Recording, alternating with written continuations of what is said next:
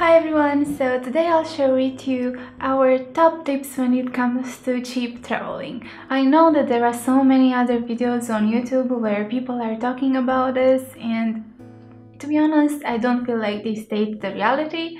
So I'm gonna share with you our tips when it comes to traveling. Trust me, we are students or recent graduates as I am. So we have to travel for less if we actually want to travel. So here are our tips when it comes to cheap traveling.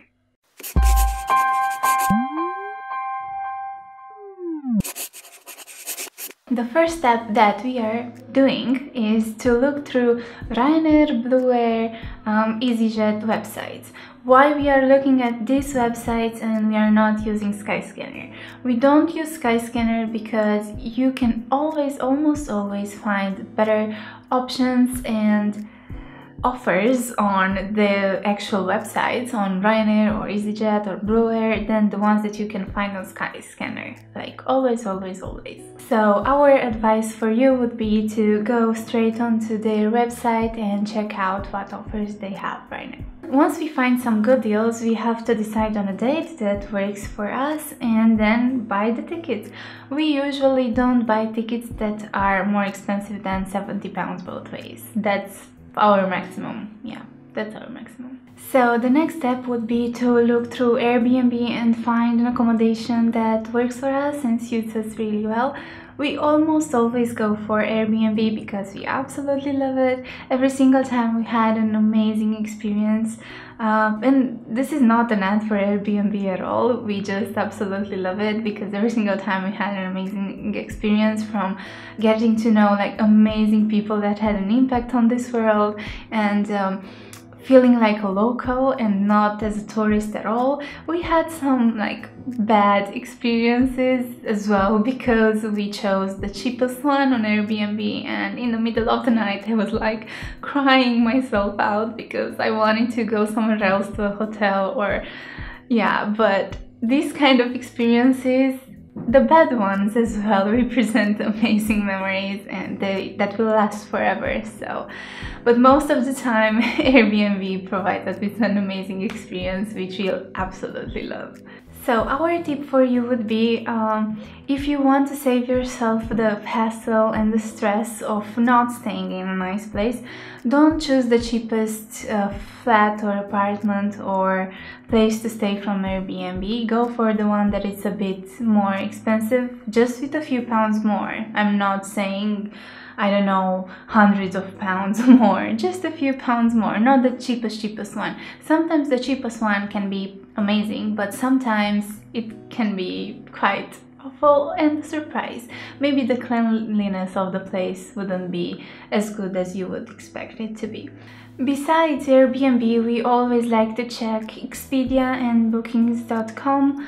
Um, to be honest, we don't book too much using these two websites, but we are always coming back to Airbnb. But it's always good to check it because sometimes they have really, really good offers. Once the accommodation is booked, we are good to go. We are not worrying about anything else. Once we are there, we like to use the local transport, uh, buses, tram, metro, whatever it is. What we like to do beforehand is to Google to see how it is cheaper to buy your ticket. Is it weekly or daily? Uh, and for this, we are using TripAdvisor because so many people state their opinion on there and we always find the best deals and which is the best way to buy your tickets. If we are thinking of traveling through multiple cities, uh, we are booking almost everything in advance. Uh, what does it mean? We are booking accommodation and train tickets. To be honest with you, train train tickets are not mandatory. We usually or lately in the last year we bought them on spot when we were already there so all we booked in advance was just uh, accommodation. Call us crazy but we love it.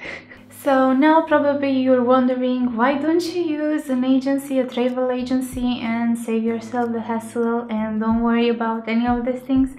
Well, agencies and travel agencies are bullshit if you're asking me why i'm saying this is that they are trying to sell you things that are absolutely pointless and they basically don't sell you any offers. All they want is to make money for themselves. All those 10 kilogram cabin bag for free and you'll get 25% off for um, accommodation is just bullshit.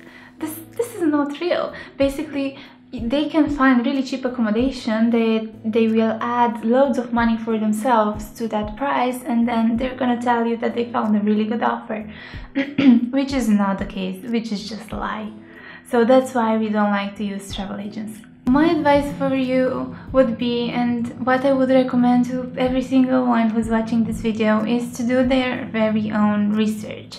Why I'm saying this? Because if you're doing your own research, you're buying your own tickets accommodation, you can have beautiful holidays, luxurious holidays for such a small price, probably even half the price that you would get it from an agency.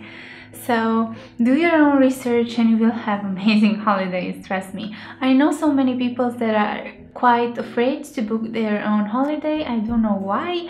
They think that something might go wrong, but trust me, there's nothing that can go wrong. Even if you're going through an agency, they are doing the same thing that you're doing. It's just that they're booking everything for you.